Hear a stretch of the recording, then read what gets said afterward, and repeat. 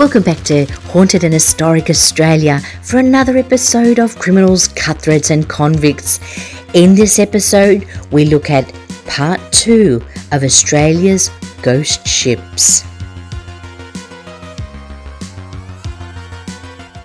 In part one, we took a look at a couple of the ghost ships that have crashed or have wrecked around the coastline of Australia. There's been the Sirius, the HMS Sirius that came over in the First Fleet and crashed off Norfolk Island. And then we were talking about the convict ship George III, where many convict men had lost their lives being trapped in the cages below deck. We also had the Dunbar that crashed at the Gap, where many souls have thrown themselves over the cliff edge. Everyone on board died except for James Johnson, who went on to save another life. And then we looked at the SS Yongala, which was a strange story of a ship that didn't have a radio and missed a communication that would have saved everybody on board from a terrible storm out in the sea, and the ghostly stories that came along with these wrecked ships. Yes, part one was packed, and it's going to be quite the same for part two. I'm sure of it. Let's start with the first ghost story. This next story begins somewhat similar to a joke. A rabbi, a bishop, and a pearl walk into a bar. No, but this story does have a rabbi, a bishop, and the infamous Rosea Pearl in the tale.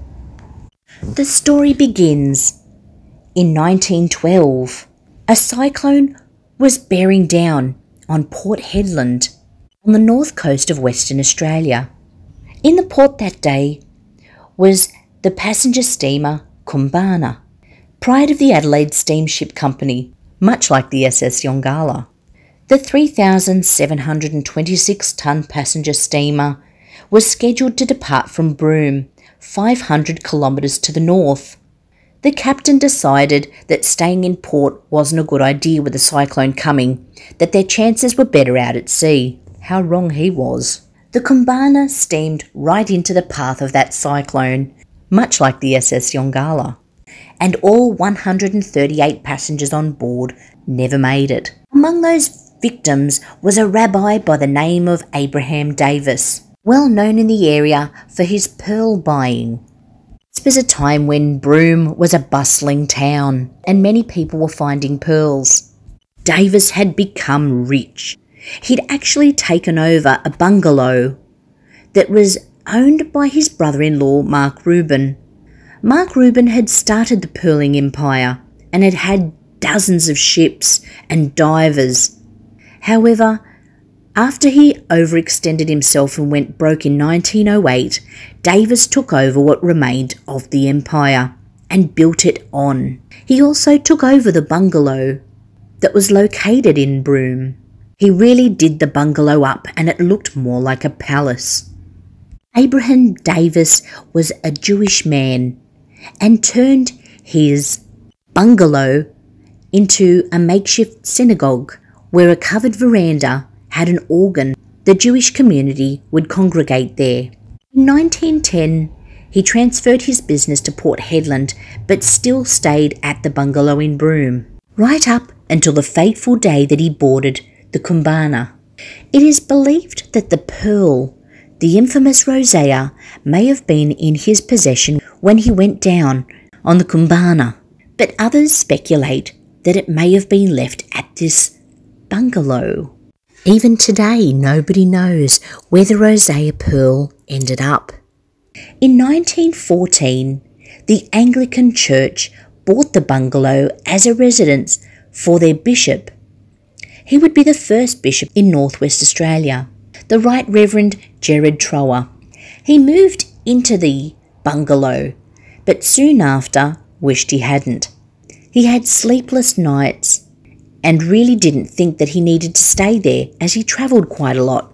He spoke to the Anglican Church, but they'd already purchased it for him, so he was kind of stuck there. Soon after he moved into the home, he was awakened one night by a strange light and a breeze circulating the room, stirring up curtains and waking him from a deep sleep. He watched as a hazy, luminous figure entered the room. There was an aura around this figure. He didn't enter through the door, but through a solid wall. The bishop thought he may have been having a divine experience. Perhaps the Lord was coming to visit him and give him guidance for his future. No, it was a middle aged man with a long beard, dressed in robes and a prayer shawl. He was a Jewish rabbi. Now, Bishop Trower must have really thought things were getting crazy. He wasn't visited by the Lord, but he was visited by a rabbi. Perhaps he thought his faith had been placed in the wrong area. How strange. But it was obviously the previous owner, Abraham Davis. He introduced himself as such to the bishop, and the bishop asked him, Was there anything that he could help with? Why was he here? Well, Abraham Davis danced around it. He didn't tell him exactly why he was there and said there was no reason. Why would he need a reason to be in his old home again? But he visited many nights and would never answer the bishop's question of why he was there. The bishop heard the story about the pearl and had a feeling that perhaps Abraham Davis had come back from the dead to find his beloved pearl. Perhaps it was hiding somewhere in the bungalow. Now, to understand the importance of the pearl, we have to look to its past. It was brought from the sea in 1905.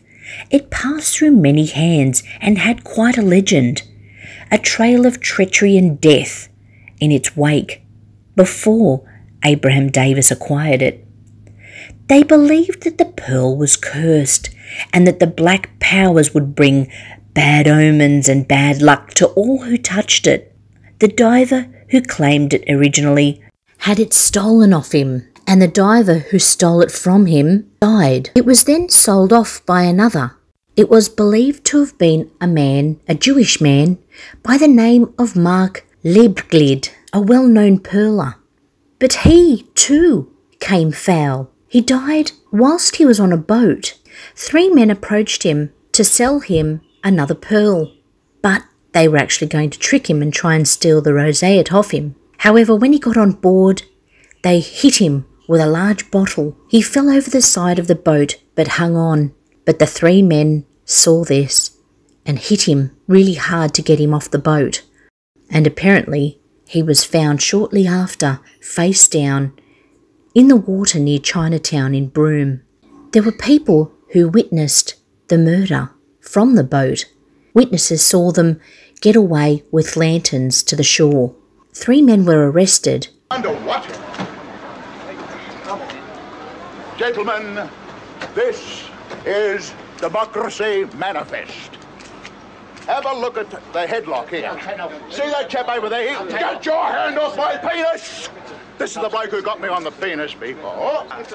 For what reason? What is the charge? Eating a meal? A succulent Chinese meal?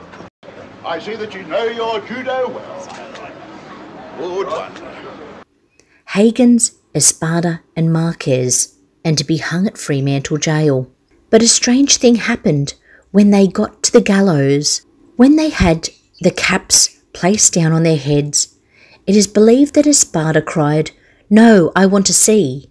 So the hangman took the caps off, and Espada and Marquez began to quarrel. The confusion caused, apparently, the hangman to cry out like a child, and as this was happening, the chief warden stepped up to the gallows to try and stop Espada from struggling, as he was now trying to grab at the rope. But unfortunately, at this point in time, the hangman pulled the lever. The men dropped and were stopped by the noose. However, the chief warden fell to his death. The pearl's reach was quite vast. You didn't even have to touch the pearl to be cursed.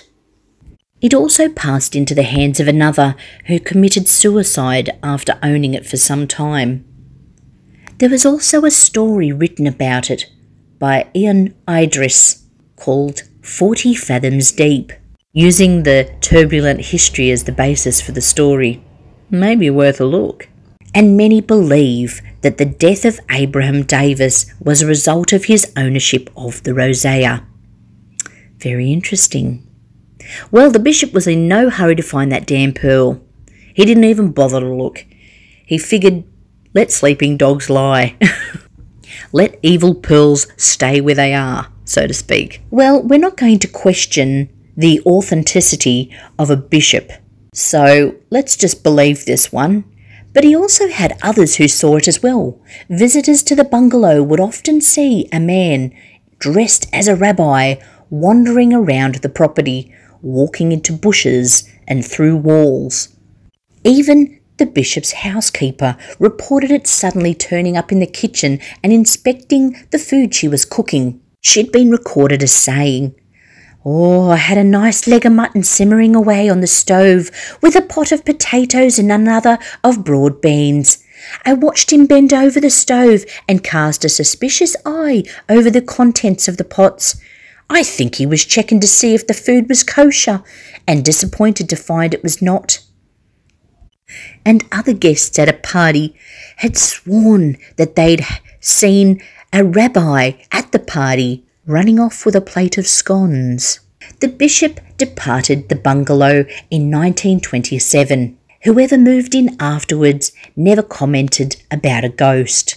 And eventually, in 1980, the bungalow was demolished. Whether or not Rabbi Davis still haunts the area is unknown, and it's also unknown to this day where that Rosea pearl is, whether it's under the dirt and the rubble that once was the bungalow in Broome, or is it lying at the bottom of the ocean with the Koombana, waiting for someone to find it?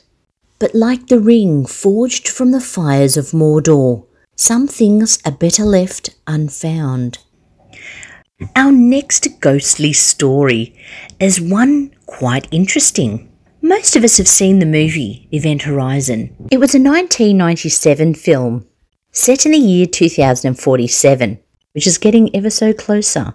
The story goes we're very much advanced into the future and we now have spacecraft. And one of our spacecraft, human spacecraft, has gone missing around Neptune. They set out another spacecraft carrying Sam Neill and Laurence Fishburne to go and investigate what happened to it.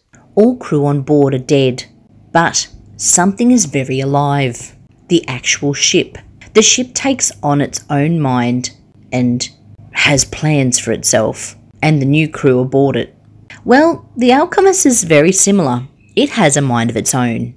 The Alkimos was thwarted from the start, taking way longer to build than any other ship from the same shipyard. In 1943, whilst it was being assembled, sections of the ship weren't fitting together. Equipment was breaking down. Workers were becoming sick. Many accidents were happening. They were calling it at that point a jinxed ship. Over the decades after it was made, it was constantly in for repairs, being sold numerous times and having many name changes.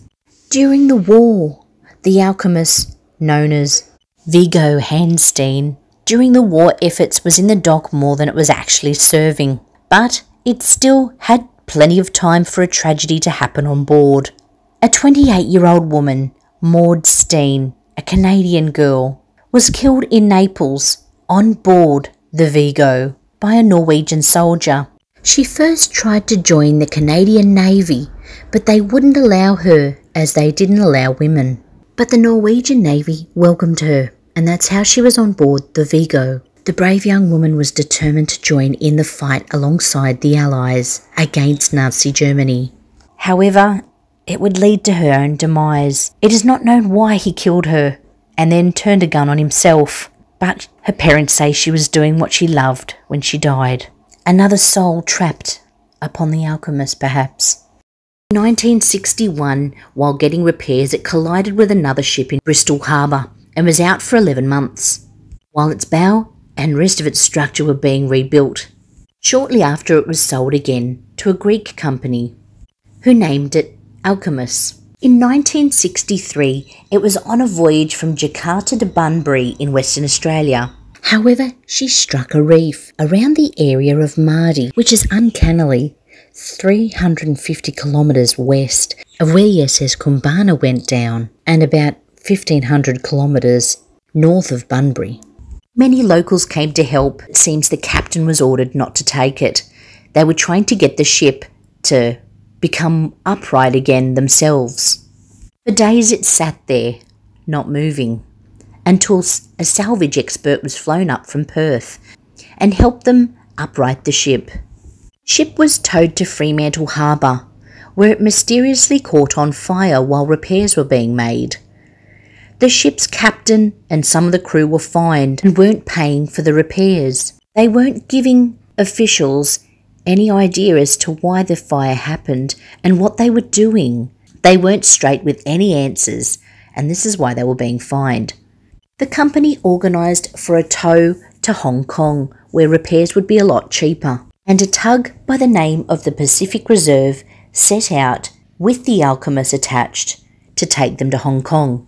At first it was fine, but then they reached choppy waters and the line snapped. This sent the Alkimos drifting straight back onto the coast at Eglinton Rocks, 57 kilometres north of Fremantle. From here, many people and different companies have tried to get the Alkimos off the rocks, and every time they fail whether lines would snap, equipment's damaged, rough seas and treacherous weather, people getting sick. They even had a Roman Catholic priest try and exorcise the damn ship, performing an exorcism to try and release the ship of its demon, unjinx it. Before he got started, he decided he would do a bit of fishing, but this turned disastrous when he threw his line in, the line came straight back and got him in the forehead, he had to be hospitalised. The exorcism was never done.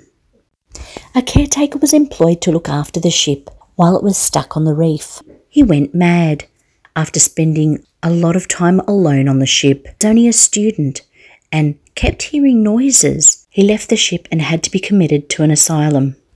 His diary would be found later on in the story.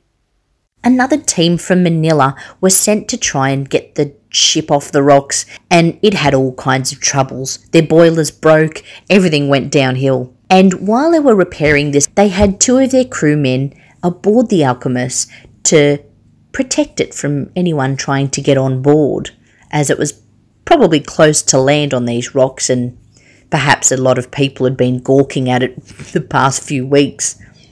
But while they were on board, they encountered strange things tools that they'd been using were moved around, not where they'd been left. The constant smell of cooking was in the air, like someone was cooking on board the ship. But when they would investigate, there was nothing there. Sometimes, when they went to move hoses, heavy hoses, they were quite light, as if some ghostly hands were helping them carry them. The two Filipino men put up with quite a lot, and then one afternoon, as the sun was setting, they sat down after a day's work, only to be disturbed by a large man in an oilskin coat walk past them.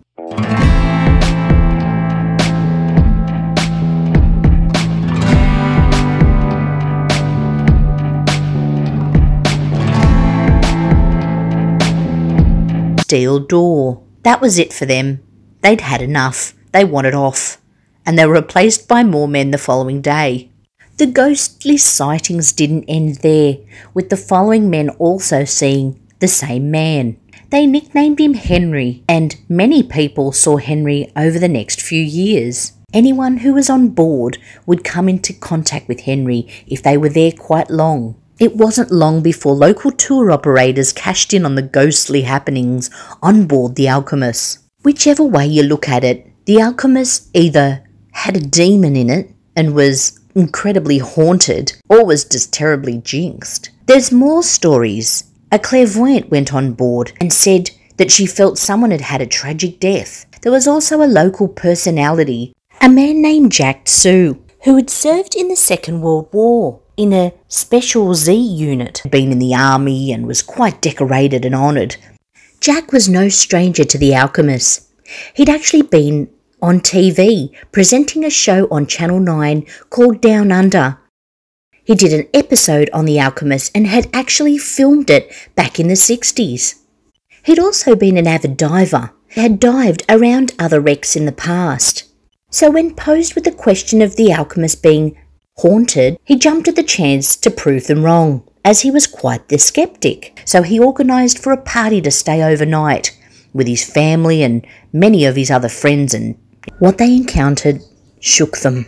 As Jack Sue explains to Warwick Moss on The Extraordinary, it wasn't a dull evening. Was the Alkimos, a dark, brooding hulk that some say is a ghost ship. Once proud, the steamer Alkimos lies deserted off the Western Australian coast. There lurks an evil presence. They say the Alkimos is a ghost ship. As being uh, uh, a, a, an evil ship. Definitely an evil ship. It is said that Jack got very ill after spending the night on the Alkimos, as well as being involved in a car accident where it is said that his wife died. And there were other tragedies from the Alkimos. Partners who wanted to buy the ship for scrap, John Franatovic and Bob Hugel, had bad luck from the beginning. A tanker that they'd owned collided with another ship, and Bob Hugel's health deteriorated.